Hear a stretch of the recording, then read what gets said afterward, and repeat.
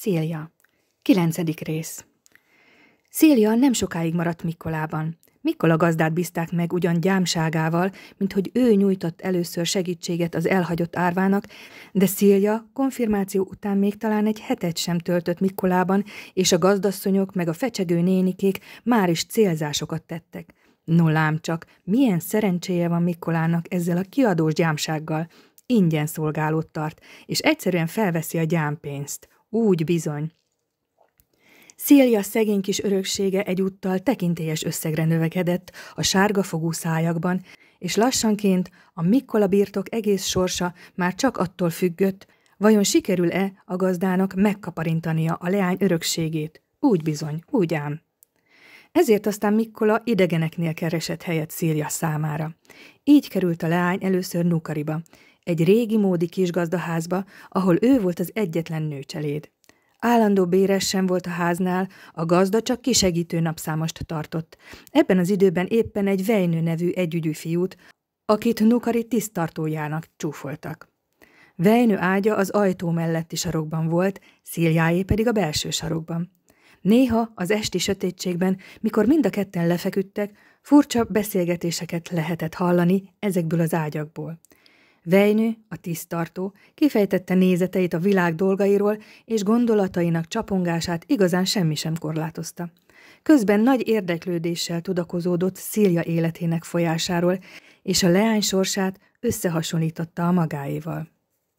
De azután, mikor már legfőbb ideje lett volna elaludni, a fiú házassági tervekről beszélt, és megkérdezte Szíliát, nem volna -e kedve hozzámenni, ha majd ő, Vejnő, kissé megszedi magát. Szíliában még nem volt meg a felnőttek biztonsága, de megérezte, hogy legjobb erre semmit sem válaszolni. Hozzám jössze, hangzott még egyszer az ajtó melletti ágyból. Majd megmondom holnap. Felelte Szília, és jól hallhatóan úgy helyezkedett el, mint aki most már igazán meg akarja kezdeni az éjszakai pihenést. Ebben a pillanatban a gazdasszony kinyitotta az ajtót, és hálóköntösben bejött a sütőkonyhába. Ne jártasd annyit a szád, Vejnő, megint vizes lesz az ágyat, ha annyit forgolódol. Te pedig, Szélia, ne hallgass arra a tök filkóra. A gazdasszony visszament a szobába, és a cselédek ágyából sem hallatszott többé egy szó sem. Szília tulajdonképpen nagyon élvezte, hogy a gazdasszony felnőtt, értelmes embernek tartja, de azért arra a szerencsétlen vejnőre is gondolt. És végül mindig kisé magára, a gyermekkorának letűnt éveire, a konfirmációi tanulásra, az élet megrendítő körülményei között is olyan csodálatosan viselkedő édesapjára, akinek közvetlen képe kezdett már lassanként elmosódni, és nem jelentnek többé csukott szemhéjai mögött, míg az álmot várta. Csak egy-egy helyzet, egy-egy mozdulat tűnt fel belső tekintete előtt, és ilyenkor enyhe fájdalomérzése rontott be a tudatába. Nem az apja rendelkezik ebben a szobában, ahol ő, Szília fekszik, és ahol mernie kell elaludni. Halk nyöszörgéssel riadt felszendergéséből a lány, nézte a sötétben az ablaküveget, hallotta az alvó vejnő lélegzését, ráeszmélt, hogy hol van, és akkor újra elaludt. Történt egyszer, hogy egy viharos, sötét őszi estén Szília egyedül tért haza az egyik szomszédos faluból. Kissé sokáig elidőzött, és mikor végre kijutott az útra, a sötétség és a szabad természet olyanféle megnevezhetetlen szorongó érzést váltott ki benne, mint amilyent gyermekkorában érzett a repedező jégtáblán, ahonnan apja mentette meg. A két falu között egy kis erdő terült el, itt az út mély völgybe süllyedt alá, és a szél süvöltése fentről a magasból hallatszott. Mintha a sötétség óriási madár volna, amely ott fenn a magasban, szélja feje fölött vészjóslón liheg és mintha valahogyan, valamilyen módon az apja is ott volna, ahonnan az a lihegés hallatszik. Az árva leány meggyorsította a lépteit, és a völgy közepén, az út legzordonabb részén már majdnem félelem fogta el. De amint ritkult az erdő, és közelebb került a faluhoz, a határozatlan szorongó érzést éppen olyan határozatlan örömújongás váltotta fel, és ez az érzés szinte cseppekben budjant ki lelkéből. Halkan énekelni kezdett, hogy ne hallja a fák csúcsainak egyre távolodó zúgását. A rábízott dolgot jól elintézte. Szíliát kávéval kínálták meg, és úgy bántak vele, mint felnőttel. Egy fiatalember, Tontila Oszkari, aki éppen ott volt, úgy beszélgetett Szíliával, mint ahogy fiúk szoktak a leányokkal. hiszen Szília már a 17. évében volt. Mikor a ház közelébe ért, és már hangosan dúdolgatott, ez is eszébe jutott. Hazaérkezésekor Nukariban is hangos jókedv uralkodott. Mindnyájan a nagy sütőkonyhában ültek, és vidáman beszélgettek. Szília hazatérését úgy fogadták, mint jelentős eseményt, és Szília lelkéből sem tűnt el a felbuzdulás melegsége. Alig tudta elmagyarázni a gazdasszonynak, hogy mit végzett, folyton közbe kiabáltak, és tréfás megjegyzésekkel zavarták. Ott volt a sütőkonyhában egy jól táplált, piros posgás férfi, akinek ujját drága köves gyűrű, mellényét pedig vastag aranylánc díszítette. Később kiderült, hogy ez a férfi a gazda öccse, aki Amerikát is megjárta, és most megint oda készül vissza. Félig meddig tehát búcsú látogatásra jött. A látogató, akit Villének hívtak, nagyon kellemesítette az estét a különben barátságtalan sütőkonyhában. Kissé éles hangját éneklés közben magasabbra felvitte, mint akárhány nő. Ville vezetésével ugyanis énekelni kezdtek, sőt, a vendég vejnőt is rávette, hogy eldaloljon egy-két furcsa nótát, amelyet apjától tanult. A régen elfelejtett nótákat részben vejnő előadási módja miatt féktelen kacagással fogadták. Elmentem Rómába Randellig, ott láttam szakállas szatellit. Kérdem, hol van Hilma szobája, Santelli bekísért hozzája. A gazda is fölmelegedett és folytatta. Hilmácska turkói kislány volt, kacagó két szeme szikrát szórt. Tizenöt tallérom megbánta, hogy velem hát akkor Hilmácska. Nevettek, csak Vejnő volt ünnepélyes hangulatban, hogy a gazdája is tudta a nótáját. Nukari Ville sokat járt a nagyvilágban, jól ismerte az embereket, öregeket és fiatalokat egyaránt. Szíliát, bár a leány még nagyon fiatal és gyerekes volt, rendkívül csinosnak találta. Nagyon barátságos volt hozzá, és egész este úgy rendezte a dolgokat, hogy játék és tánc közben szavakkal és tettekkel is kifejezésre juttassa tetszését. Mikor Vejnő nótája befejezése után egy tánc dallamot dúdolt, a vendég elkapta Szíliát és táncolni kezdett vele. Csak ők táncoltak, a többiek nézték őket. Szília rájött, hogy tudja a polkát. Vejnő egyre gyorsabb tempóban énekelt, a táncolók mégsem hibázták el a lépést, és a végén már úgy forogtak, mint a forgószél. Vejnő volt az, aki végül is belezavarodott. Ekkor Ville magasra dobta szélját a levegőbe, s még egyet perdülve vele, leültette maga mellé az ágy szélére. Egy pillanatra talán a keze rajta maradt a leány derekán. Nokari Ville nem tett semmi olyat, ami idegenkedést kelthetett volna Szíliában. Mikor másnap elbúcsúzott és elment, Szília szinte sajnálta távozását. A férfi megkérdezte Szíliától, hogy írhat-e néha. Csak írjon, válaszolta a leány. Mást nem tudott mondani. Érkezett is aztán több érzelgős levél, amelyekre Szília is válaszolt. Az egyik levélben igen finom sejem zsebkendőt küldött Ville, ilyent még senki sem látott a faluban. Természetesen kitudódott a dolog, mert Szilja nem tudta az ajándékot rögtön elrejteni. Ez aztán bizonyos célzásokra adott alkalmat, bár másfelől nem tartották természetesnek, hogy egy harmincas években lévő, világlátott férfi egy ilyen fiatal leánykához közeledjék, egy olyan leánykához, aki csak most konfirmált, és aki különben is még teljesen ártatlan. A Nukari villével való történet később végzetessé vált Szília életében. A leányban nem volt a férfi iránt semmi olyan érzés, mint amilyennel a zsebkendő érkezése után meggyanúsították. Úgy tekintette Villét, mint idősebb rokont, aki jó szívvel van hozzá. Mikor aztán Tantila Oszkari olyan módon kezdett Széliához közeledni, mint ahogy a fiúk szoktak a leányokhoz, Szélia el sem tudta képzelni, hogy a Nukari Villével való ismerettségének és levelezésének jelentősége lehet ezzel kapcsolatban. Úgy látszott, hogy Oszkari sem törődött a dologgal, ha ugyan egyáltalán hallott róla. A táncokban Szíliával táncolt, utána hazakísérte, és átkarolta a leány csípőjét. Minden emberi fűságában vannak élmények és hosszabb élménysorozatok, amelyek, ha később érett korában visszagondol rájuk, furcsa, gyötrő érzést okoznak. Nem mindig rossz cselekedetek vagy titkolt bűnök váltják ki ezt az érzést.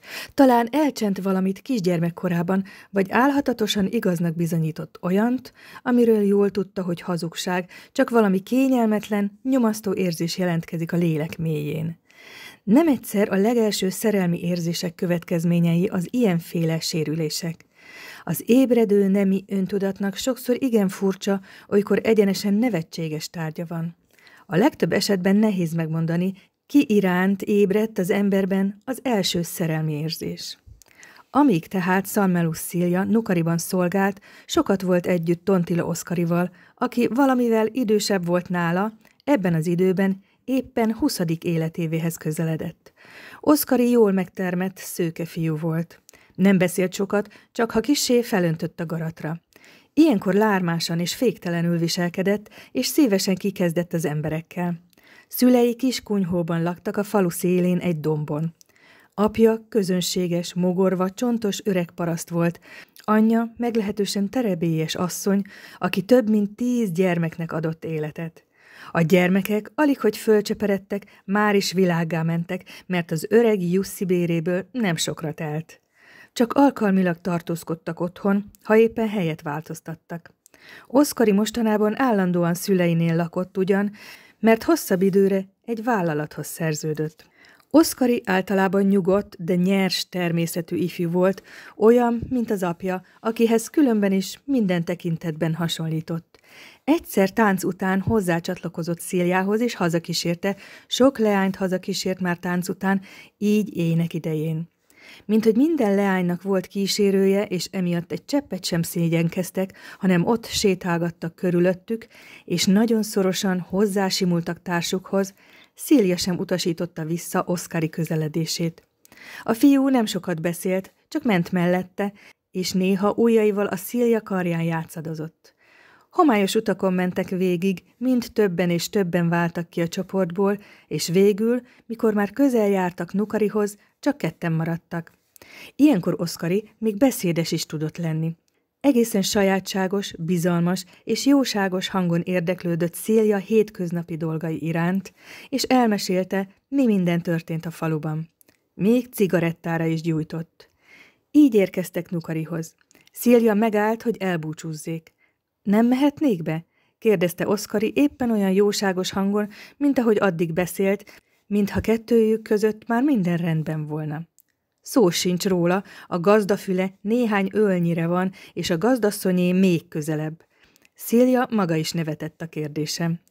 Ugyan mit csinálna ott Oszkari az éjszaka közepén, még akkor is, ha bemehetne? Oszkari mégsem ment el rögtön, erősen szívta a cigarettáját, amelynek izzó végén hosszúra nyúlt a hamu. Egyik lábáról a másikra állt, de már nem tudott semmit sem mondani. Mintha várt volna valamire, hát ha arra megy valaki és meglátja a leányjal. De az éjszaka teljesen csendes volt, csak a ló fújt messze hallhatón Nukariék istálójában. Mintha csak adott jelre vártak volna, Oszkari elindult szülei kunyhója felé, Szília pedig bement a sütőkonyhába.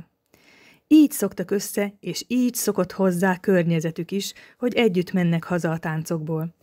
Oszkari keze leereszkedett Szília csípőjére, és már ők is éppen olyan lassan mendegéltek, mint a többi párok.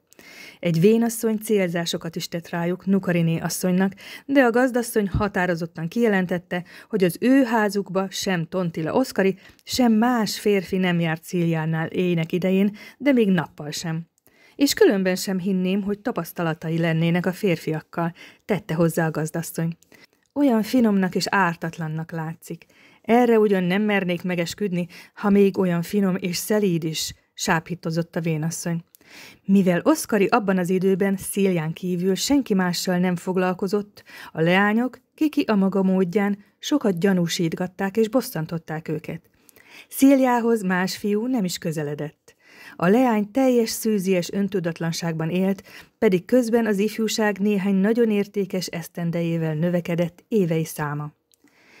Vejnő ágyából esténként kesernyés elmélkedések hangzottak el, és a fiú a sütőkonyha sötét levegőjébe belebeszélte mindazt, amit állítólag Tontila Oszkariról tudott. Ezek a történetek azonban Oszkari régebbi leányismerőseivel voltak kapcsolatban, és nem voltak hatással szíjára, sőt, talán inkább kedvező benyomást tettek rá. Még tetszett is neki, hogy van egy fiú, aki kísérgeti, és akit régebben más lányokkal együtt emlegettek, most pedig vele. Rosszat végül is senki sem tudott mondani Oszkariról. Így teltek el ezek az évek, és kettőjük között csak annyi történt, hogy Szília nem bánta, ha Oszkari átkarolta, amikor sötét helyeken mentek, és hogy néha máskor is találkoztak, nem csak táncokban.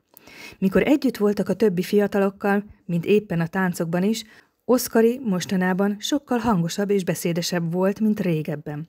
Vaskos vicceket erezgetett meg, ezeket a leányok is meghallhatták, ha kedvük volt hozzá. Ha azonban négy szem közt maradt Szíliával, azonnal megszelidült a beszéde és egész viselkedése. Egyszer, mikor berúgott, vagy úgy tett, mintha berúgott volna, még a fiúkkal is összekapott Szília miatt.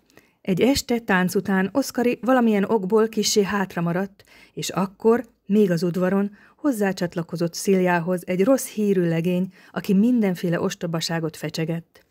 Itt van hát a gyermekünk anyja?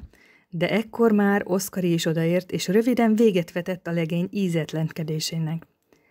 Nincs itt. Te azonban szaladj anyádhoz, bújj a szoknyájába, különben jól elpáhol a bácsi. A legény még megkérdezte, mit akarsz? Mire Oszkari megfelelt. Ezt. És jól irányzott ütéssel egy hófovatagra röpítette az örgőcsontú szájaskodót. Szília és Oszkari ez alkalommal mégsem lehettek zavartalanul együtt, mert a legény cimborái követték és kihívó kiáltásokkal zaklatták őket. Nukarihoz érve, Oszkari kérte Szíliát, hogy várjon, amíg ő eltávolítja a legényeket, de Szília röviden elbúcsúzott és bement. Oszkarinak valahol másút kellett leszámolnia a kéretlen kísérőkkel. Ez volt egyúttal az utolsó eset, hogy Oszkari hazakísérte Szíliát. A következő héten elutazott Dél-Finnországba, ahol akkoriban az oroszok nagy erődítési munkálatokat végeztettek, és ahonnan szédületes munkabérek híre terjedt szét. Azt beszélték, hogy egy ügyes ember nagy csomó pénzt gyűjthet össze, minden különösebb megerőltetés nélkül. Oszkar is útra készült néhány vállalkozó szellemű legényel. Olyan féktelen jókedvük volt, mintha egyenesen háborúba mentek volna. Hetvenkedve bizonygatták az otthon maradóknak, hogy olyan fiúk indulnak most sáncmunkára, akik nem fognak üres zsebekkel hazatérni. Búcsúzóul iddogáltak is. Még Nukari tisztartója, Vejnő is bekerült a társaságba, és ő is húzott egyet-egyet a pálinkás üvegből. Oszkari azután egészen bátran elment Vejnővel Nukariba. Még nem volt késő, s nem kellett attól tartani, hogy lefeküdtek a háznál. Bementek a sütőkonyhába, és már az ajtóban elkezdték a magyarázást. Oszkari rekettes hangon, így beszélt mindig, ha kissé ittas volt. Elmondta, hogy Vejnő engedelmével eljött megnézni a tisztartó rózsáját. Erre Vejnő közberikoltott. Mindent a szemnek, semmit a kéznek. Ez a látogatás egy kis undort keltett a fiatal szíljában, több mint egy évig nem is találkozott azután Oszkarival. A fiatal ember másnap korán reggel elutazott, és mikor visszatért, a régi barátság nem folytatódott. Ennek pedig a már említett Nukari Villa volt az oka, aki közben visszatért Amerikából, egy régi fakereskedő cég szolgálatába lépett, s erdőket vásárolt. Ebben az időben megint betért egyszer Nukariba, és az egész éjszakát ott töltötte. Bizony nagy baj volt, hogy a gazda éppen a városban tartózkodott, és így öccse ura túlságosan fesztelenül viselkedhetett szülőházában. Az este a nagy sütőkonyhában külsőleg körülbelül úgy alakult, mint akkor, amikor Ville búcsúzni jártott. Csak annyiban volt más, hogy Szília azóta szépen kifejlődött, és hogy a gazdasszony kissé ingerkedett vele az Oszkarival való ismerettség miatt. Ez aztán furcsa hatással volt az Amerikából hazatért férfira. Ville minden alkalmat megragadott, hogy kimutassa fölényét a jelentéktelen helybeli férfiakkal szemben. Utazótáskájából üveget vett elő, és sorra kínálta azokat, akiknek kedvük volt hozzá. Bizonyos, hogy nem fenyőtövében, titokban főzött pálinka volt benne. És mikor így fölmelegedett, és a többiek is fölmelegedtek, és beszélgetni kezdtek, főleg Amerikáról és a dollárokról volt szó, a vendég elővette pénztárcáját és megmutatta az amerikai pénzeket. Szília is odament, hogy megnézze. Ekkor a vendég kihúzott a többi közül egy hosszúkás papírpénzt, amelyen különös, kisé nőies férfi képét lehetett látni. Oda nyújtotta Szíliának, és így szólt. Elfogadja emlékül? Szília zavarba jött. Nem vette el a pénzt, de nem is utasította határozottan vissza. Tedd el, tedd el, ha már neked adták. Biztatta a gazdasszony kissé rosszalló hangon. Mit csináljak vele? Nincs rá szükségem, felelte Szília őszinte nevetéssel. És mivel a vendég nem vette mindjárt vissza, letette a bankjegyet az asztal sarkára. Majd én elteszem, szólt Vejnő, és már utána is kapott, de a vendég gyorsabb volt, mint a tisztartó, és visszatette a pénzt a tárcájába. Azután Ville még egyszer körül kínálta az üveget. A gazdasszony nem fogadta el, és megtiltotta sógorának, hogy tovább itassa azt az ostoba vejnőt. Mit akar velem a gazdasszony? Nem végzem én el a munkámat? Pattant fel Vejnő, és hangja elárulta az ital hatását. A gazdasszony azt akarja, hogy most mindjárt lefeküdjünk, nem csak mi, hanem a vendég is. A vendég még egy kortyot ivott, aztán elindult a tiszta szoba felé az épület másik végébe, ahol fekvőhelyet készítettek számára. Vejnő és Szília is lefeküdt, a lámpát eloltották. A szobában is elcsendesedtek már a gazdasszony és a gyermekek, az utolsó halk susogás felelet nélkül maradt. Úgy látszott, hogy az egész ház álomba merült. Mégis alig ha aludtak mások, mint a gyermekek. Az élénk beszélgetés és az ital mindenkit ébren tartott, a gondolatok egymást kergették, és nagy lendülettel csapongtak ide-oda. Valamelyiknek az is eszébe jutott, hogy a házgazdája ezen az éjszakán nincs rendes helyén. Ha valami rendkívüli dolog történnék, rá volnának utalva a gazda öccsére, arra a hízásnak indult férfira, aki már félig úrnak számít. A sütőkonyha ajtaja ebben a pillanatban nyikorogni kezdett. Vejnő jól hallotta, hogy az, aki belépett, nem kívülről jött, hanem a tiszta szoba felől. Az éjszakai látogató tapogatózva beljebb került, és olyasmit mormogott, hogy megfeledkezett valamiről, többek között arról, hogy jó éjszakát kívánjon széjának. Végre oda talált a belső sarokba, leült az ágy szélére, és rögtön le is feküdt szélja mellé. Recsegés és susogás hallatszott, egyre erősebben hallatszott, különösen Szíria suttogását lehetett világosan megkülönböztetni. Vejnő kétségtelenül együgyű volt, ezt ő maga is tudta, de az idegen férfi bizonyosan még sokkal bolondabbnak tartotta.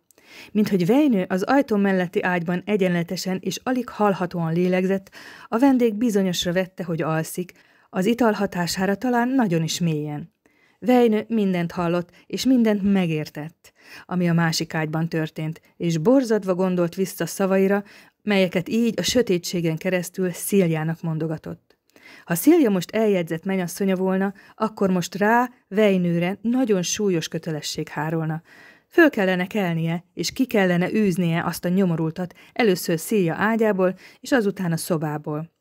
Szilja azonban sohasem vette komolyan, amit Vejnő mondott, Hosszú időn keresztül mindig csak Oszkarival barátkozott, aki most ki tudja, merre jár.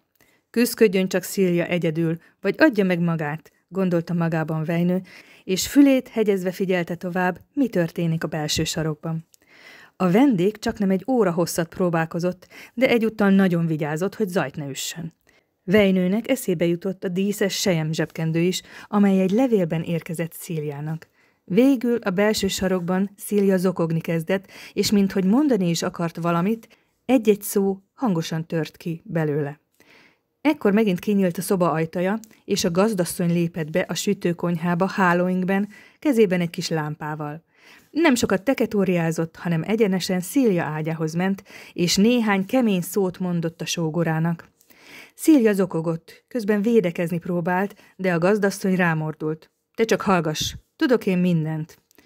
Ez a néhány szó sokáig kínoszta Szíriát, mert nem derült ki belőlük, vajon tudja-e a gazdasszony, hogy voltak éppen mi történt. Nukaréné asszony viselkedéséből Szília mégis megérezte, hogy a gazdasszony mindent hallott, vagy legalábbis mindent sejtett.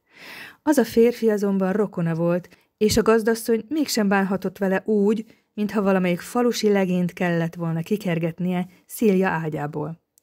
Így aztán Szíjának végül is nem maradt rossz emléke Nukariné asszonyról. Szília ugyanis tavasszal elment Nukariból. Megelőzőleg azonban történt néhány olyan dolog, amely említést érdemel Szília élete történetében. Április volt már. Eső esett, és utána néhány meleg nap következett. Felhangzott az első seregélyek füttye, valaki azt állította, hogy már barázda billegetőt látott, mások erősködtek, hogy pacsírta szót is hallottak. A jég még erős volt, pedig a hó már leolvadt róla, és helyenként a jeget borító víztükrön egy-egy szélrohamra apró kis hullámok fodrosodtak. De a tulajdonképpeni téli utak, ezek az ütőerek, amelyeket kínlódás, izzadság, remények, kiáltozások, csalódások és fáradalmak alakítottak ki, megöregedve és megszilárdulva emelkedtek a tavasz érkezését jelentő változások felé. Ezek az utak kemények és szárazak voltak. Különösen gyalogos embernek gyönyörűség ilyen úton járni. Ha kitér a szembejövő szán elől, nem kell az útszéli lucskos hóba lépnie. Míg az útjelzők is egyenesen álltak, biztosítékul, hogy lehet még a téli utat használni. Ilyen úton haladt Szília egy délután északi irányban a templomos falu felé. A nap már nyugovóra készült, jó helyet választott ki magának a nyugat-észak-nyugati égperemén. A halmok és a dombok szabadon hagytak számára egy szelíd völgyhajlást. Mikor Szília az úton ment, a nap még legalább három újnyi magasságban volt. Szíliának eszébe jutott az időmérésnek ez a régi, népies módja.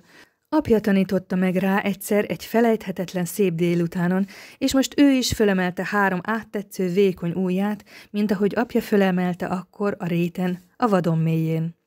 A leány ment az úton, és mert az egész nagy jégmezőn nem látott senkit, teljesen átengedte magát érzéseinek. Újongó léptekkel lépkedett, alakja szinte táncot járt a dallamütemére, amelyet ajka dúdolt. A nap vöröses fényben égett, és körös körül mindent lángra lobbantott. Az útjelzőkül odaállított fenyők, amelyekről a téli viharok és a lovokat hajtó emberek letördelték az alkalmatlan ágakat, közelről nézve óriásként rajzolódtak ki a vörösen izzó estéli égboltozaton. Szília szemében ezek a képek még emelkedtek és süllyedtek is újongó léptei ütemében. A fiatal leány fölemelte a fejét, hogy a jóleső napsütés egész arcát beragyoghassa. Szeme éppen csak sejtette, hogy a nap esti pírja arcát is rózsaszínűre festi. És ajkai még mindig azt a dallamot dúdolták, melynek ütemére lába lépkedett. A leány fiatal lelkének rejtekeiben sok-sok élmény halmozódott fel, amely egy-egy véletlen pillanat hatására csendes elragadtatásban tört ki. A koratavaszi estén az égboltozat viszfényében ez az elragadtatás arcán is tükröződött, hiszen ez a leány éppen úgy, mint ezren és ezren az őkorában, itt meg a többi faluban és másutt is a földön, messze az erdőfáinak csúcsai mögött, ez a leány már átélt és mind erősebben és erősebben érzékelt őszöket és tavaszokat, teleket és nyarakat, tapasztalta, hogyan élnek és szaporodnak az emberek, az állatok és a növények ezekben az évszakokban. Mi minden történik velük, amiről nem tehetnek. Jó, csúnya, félelmetes és örvendetes dolgok, és sok olyan is, amit a tudat nem is akart befogadni. Látta egy érettebb leány tekintetét egy vasárnapi estén, amikor kihirdették jövendőbeli férjével. Látott már szopni egészen kicsi gyermeket, akinek létezését egy héttel előbb még csak az anya formátlan teste és nehézkes mozdulatai árulták el. Látta férfiak dulakodását, látta, hogy ömlött a vér, látta, hogy ömlött a vér, mikor állatot öltek, Titkok történtek saját szervezetében is, észrevétlenül fejlődő, és hirtelen rárontó titkok, amelyek a lelkét is érintették, és egy-egy zavartalan órában, mikor a nyájat őrizte a legelőn, gondolkozásra késztették. Ő maga is küzdött, és győzött. És mindennek mégis az volt a végső eredménye, hogy a lelke olyan elragadtatásban égett, mintha az ég tüze gyújtotta volna fel az áprilisi alkonyatban. Az egyenes, kemény út még nem ért véget. De azután egy ló jött szembe. A leány annyira belemerült az érzéseibe, hogy majdnem alája került. Szília kitért. Egy ember hajtott el mellette a szomszéd faluból, és köszönt is neki.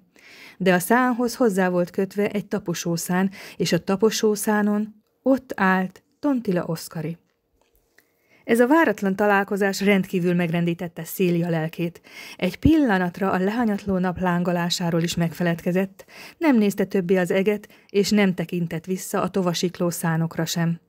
Ragyogó, nagy szeme nyitva volt ugyan, de az első pillanatokban mégsem látott semmit, befelé nézett a maga lelkébe. Valami hirtelen szétpattant benne. A dúdolás is elnémult. Nem csoda, hogy a leányt annyira megdöbbentette, ami lelkében végbe ment, hiszen Oszkari, amikor elutazott, Nem volt számára több, mint ismerős, és még az ismerettség is lanyhulni kezdett. De mi ez, amit most érez? Miért félemlítette meg, és miért izgatja a tudat, hogy Oszkari ismét közelében van? Miért érezte lehetetlennek, most hirtelen ez is eszébe jutott, hogy az a fiú ismét hazakísérje, mint azelőtt, ha majd egy este találkoznak valahol. Hogyha most Cília az erdei úton haladt volna, zúgó szélviharban, sötét őszi estén, félelmében bizonyosan meggyorsította volna a lépteit. Elhagyatottnak érezte magát a templomos falu útjain, és mikor hazafelé igyekezett, a tó jegén valóban szorongás fogta el. Az égen a tavaszi késő este kékségét látta, és néhány csillagot, sőt, tulajdonképpen, ha jól megnézte, nagyon sok csillagot. A jégmezőn minden irányban messzire elláthatott, és azt is könnyen észrevehette, hogy az ismerős csillagok más helyzetben voltak, mint valamikor karácsony táján, amikor egy este talán szintén megfigyelte őket.